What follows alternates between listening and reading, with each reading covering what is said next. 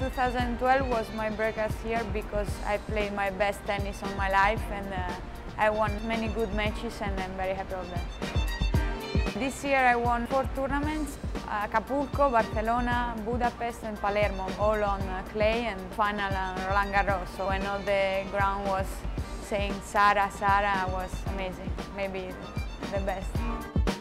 Qualifying in single is very special because it's the best uh, eight players on the world. and it's the last tournament of the year, so it's uh, very special for all these things.